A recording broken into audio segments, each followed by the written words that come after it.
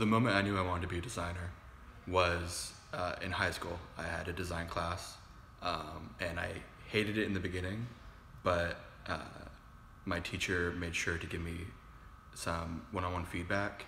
and showed me that what I was actually doing was above everyone else, and I knew that my different thinking could actually help me in the career and get me to where I am today.